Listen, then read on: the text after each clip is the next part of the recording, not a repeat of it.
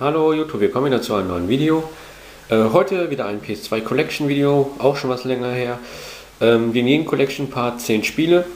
Wer es noch nicht bemerkt hat, ich habe jetzt ein bisschen eine andere Kameraperspektive, weil ich finde, wenn das näher rangezoomt ist, sieht es besser aus. Aber ich werde nachher noch wieder alle Spiele zeigen und weiter entfernt dann äh, alle Spiele zeigen.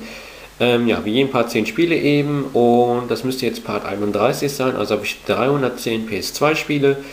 Das erste Spiel ist Futurama von äh, STE Games oder SCE Games und ja, ist ein, ja wie sagt man, also man spielt praktisch die Figuren, schießt die Gegner weg, also läuft durch die Welt, hat ein paar Rätsel. Ich sag mal, es ist ein Adventure, oder? Shooter-Adventure, First-Shooter-Adventure. Naja, ich weiß, ich vergesse immer, wie es heißt. Auf jeden Fall ähm, wenn ihr die Serie mögt, dann kann ich euch das Spiel ohne Bedenken empfehlen. Hat original äh, Sprecher, ist auch selber, also das Skript ist von demselben äh, Schreiber der Serie. Es macht Spaß, es hat einen Shell-Shading-Look und es sieht gut aus, finde ich. Also es macht mir schon Spaß. Die Steuerung ist, naja, äh, hakelig, aber es macht trotzdem Spaß. Äh, das Spiel gibt es auch für die Xbox, meine ich. Und ja, das wollte ich auch noch sagen. Wenn es ein Spiel für andere Konsolen gibt dann, und ich das weiß, sage ich euch das auch. Aber auf jeden Fall, wenn ihr die Serie mögt, kann ich euch das empfehlen.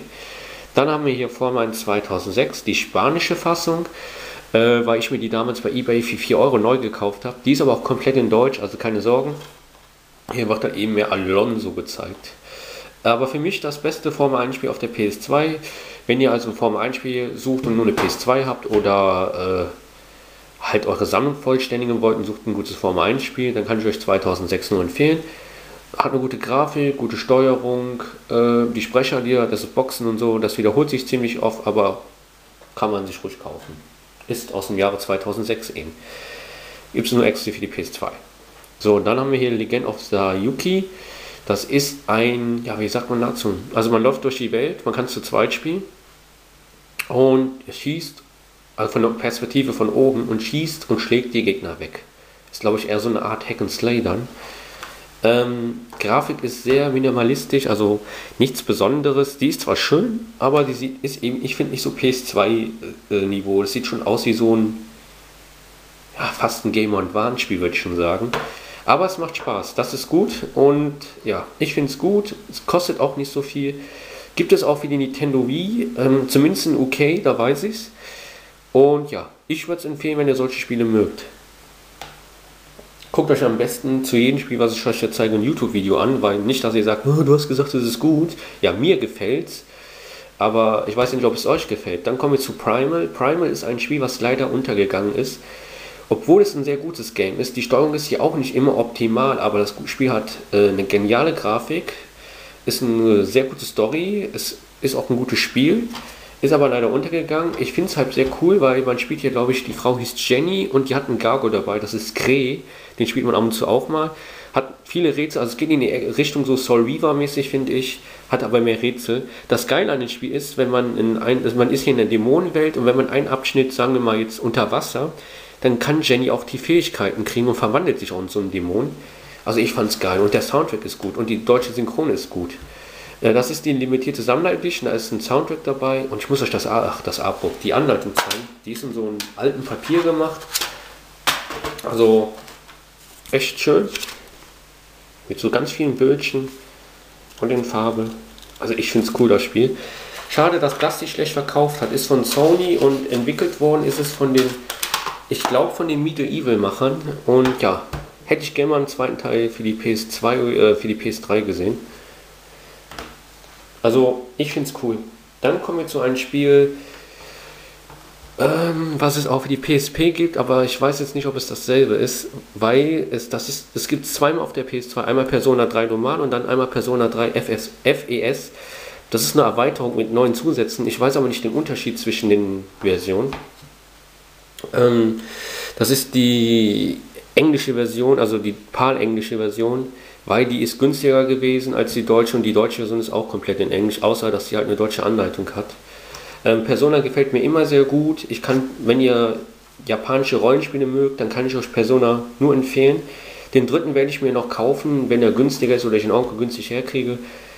Das ist ja praktisch derselbe, halt nur mit Erweiterung. Äh, kann ich ohne Bedenken empfehlen. Gibt es auch halt, wie gesagt, für eine PSP eine Umsetzung, die aber auch wieder anders ein bisschen ist. Ähm, ja, Wobei, wenn ihr einen Persona-Teil günstig sucht, dann kauft euch lieber 4, da ist ein Sounddeck dabei und der ist auch besser, finde ich. Aber Persona 3 ist auch ein guter Teil. Jetzt werden mich viele erschlagen, und zwar Resident Evil 4 in der Limited Edition, in so einem schönen Steelbook. Da war noch so ein, ja, ich sag mal, kleiner Berater dabei. Hier dieser. Dieser Berater, das ist die Anleitung. Also sieht eigentlich gleich aus, aber ist so ein, so ein Hilfeheft. Habe ich geschenkt bekommen. Ich weiß nicht, ob ich den User verraten darf. Also damals wollte er es nicht. Ähm, ja, Resident Evil 4. Also ich habe es geschenkt bekommen. Ich kann es ja eigentlich sagen, oder? Oder soll es nicht? Ne, ich sag's lieber nicht. Damals wollte er es nicht. Auf jeden Fall, ähm, das Spiel selbst ist, ist, ist ein gutes Resident Evil. Ich sag's jetzt mal so. Aber mir gefällt es nicht. Weil Resident Evil 4, ab da fing die Serie an, sich zu verändern in eine Richtung, die mir nicht gefällt. Auch Resident Evil 5, ich finde es gut, also zumindest im Koop-Modus, aber es gefällt mir nicht als Resident. Und so ist es auch bei 6. Resident Evil 6 gefällt mir, aber nicht als Resident Evil. Resident Evil ist mich 1 bis 3 und das Remake und Zero für den Gamecube. Alles andere ist kein Resident Evil mehr für mich. Aber ist ein gutes Spiel. Viele lieben dieses Spiel am meisten. Ich kann es verstehen, es war damals die seine Zeit, zumindest auf dem Gamecube, ein, Grafik, äh, ein Grafikbrett. Äh, ja, aber mir gefällt es eben nicht. Das Spiel gibt es auch auf dem Gamecube, da gab es das zuerst auf der Nintendo Wii, auf der PS2 und ich glaube sogar auf dem PC. Äh, und PS3 als äh, HD-Remake gibt es ja auch nur in Japan und ich glaube jetzt HD runterladbar. Irgendwie sowas kann man sich schon kaufen, aber ist nicht mein Lieblingsresi. So. Dann kommen wir zu einem Spiel, was eine Fortsetzung ist, State of Emergency 2. Ähm, ich finde es besser als den ersten Teil weil es sieht ein bisschen besser aus meiner Meinung nach und man kann hier Panzer fahren und man kann noch mehr Blödsinn machen. Ähm, gibt es meines Wissens nur für die PS2? Ich meine ja. Ist auf jeden Fall ein lustiges, cooles Spiel, wenn man Chaos machen will. Den ersten Teil habe ich auch und ja, kann man sich kaufen, wenn man solche Spiele mag. Sollte man aber trotzdem erstmal YouTube-Video angucken gehen. Ich fand es damals lustig. So, dann kommen wir zum nächsten Spiel. The SWAT of Interia. Das ist ein Rollenspiel, Hack and Slay Mix von Konami. Ähm, also ich, es wurde ja in den Magazinen sehr schlecht gemacht, muss ich ja sagen. Klar, es, ist, es macht nicht viel besonders, es ist eigentlich nur ein Hack and Slay, aber was ich cool finde, man hat immer drei Figuren und dann kann man so Spezialattacken machen, was mir wiederum sehr gefallen hat. Ich muss auch sagen, das Spiel finde ich jetzt selber nicht blöd. Also mir hat es gefallen. Ich kann es eigentlich empfehlen, aber auch hier guckt euch besser nochmal ein Video dazu an. Mir persönlich gefällt es. Ich glaube, es ist auch von den Siokuden-Macher, aber da würde ich jetzt nicht sagen, ob das, ich weiß es nicht, ich glaube aber ja. Also ich habe da mal irgendwie was gelesen, aber ich will jetzt da kein Gerücht in die Welt setzen. Ich muss dann kurz einen Schnitt machen, weil die Kamera fast voll ist. So, auf jeden Fall, ich meine, ich hätte gelesen, dass es von den Sekuden-Entwicklern ist. Wenn nicht, dann habe ich eben falsch gedacht, aber ich finde es gut. Dann Ultimate Spider-Man ein sehr, sehr gutes Spider-Man, meiner Meinung nach, was einen Shell-Shading-Look hat, ist von Activision. Ähm, was ich cool halt finde, es gibt halt zwei Kampagnen, einmal von Venom und einmal von Spider-Man. Äh, war eine lange Zeit mein Lieblings-Spider-Man, muss ich sagen. Und was mir auch gut gefallen hat, das Spiel ist nicht kurz. Also man hat hier schon lange ran zu spielen, muss ich sagen. Das hat mir sehr gut gefallen. Ähm, Gab es auch eine limitierte Edition für die PS2 mit so einer Blackbox, glaube ich. Irgendwas mit Black keine Ahnung, was dabei war. Das Spiel gibt es auch für die Xbox 1 und auch für den GameCube. Kann ich euch empfehlen, wenn ihr Spider-Man mögt. Und ja. Dann ein Spiel, was ich mir auch 2012 gekauft habe, wo ich lange darauf gewartet habe, es mal zu kriegen. Ich wollte es mir mal neu holen, da hat es immer lange Zeit 80, 90 Euro gekostet. Und dann wollte ich es aufgeben, dann gab es die englische, zwar für 20 Euro, aber die ist komplett in Englisch. Und dann habe ich mal dieses Spiel gebraucht gekauft, aber es ist wie neu, wie der Beschreiber, Verkäufer beschrieben hat. Und da bin ich sehr froh darauf, drüber, dass ich das dann mal auch gekriegt habe.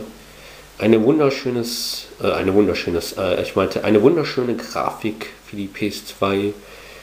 Ein sehr gutes Spiel, finde ich. Also sollte in keiner Rollen-Action-Spielsammlung fehlen. Mir hat es sehr gut gefallen. Ich finde es toll. Ich bin glücklich, dass ich es in der Sammlung habe. Ähm, meines Wissens gibt es diesen Teil nur für die PS2. Und ja, wenn ihr sowas mögt, kauft euch das. Guckt euch zu jedem Spiel ein Video an. Ich mache jetzt mal einen kurzen Schnitt, lege das nochmal alles so hin und dann erzähle ich noch was kurz und dann machen, sind wir schon fertig. So, da sind wir wieder. Also 10 PS2-Spiele, äh, mal gucken, wann ich die nächsten 10 äh, zusammen habe. Äh, also jetzt nochmal so kurz zum Durchlauf. Legend of Sayuki, spielt, guckt euch ein Video an, spielt Probe, weil da kannst du nicht sagen, das ist Geschmackssache. Primal würde ich auf jeden Fall jeden empfehlen, der sowas wie Soul Reaver mag oder Zelda oder oder oder. Also Spielsprobe.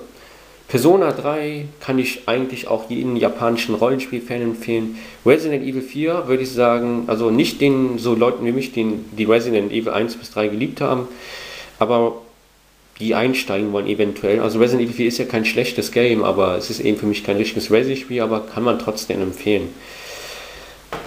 Stage of Emergency und 2, ähm, ja, gibt es bestimmt viele, die das mögen. Da würde ich auch sagen, das ist eine Geschmackssache. Mir gefällt es. Genau wie bei Sword of Internia. Äh, ich liebe es, aber müsst ihr Video gucken, auch ich weiß weiter. Manche mögen diesen Grafiklook nicht, aber Video angucken und dann entscheiden, ich mag's. Auch wie dieses Spiel, super Grafik, aber auch hier Geschmackssache. Manche mögen diese Art von Rollen-Action-Spiel nicht, aber ich liebe es. Und Formel 1, ja, wenn ihr Formel 1 mögt und eine PS2 habt, und dann holt's euch. Alle anderen nicht. Und Futurama auf jeden Fall Fans der Serie ganz deutlich zu empfehlen und Wer solche Spiele mag, kann es ja mal antesten. Das waren meine 10 Spiele. Ich habe wieder viel geredet, aber ich hoffe, es hat euch gefallen.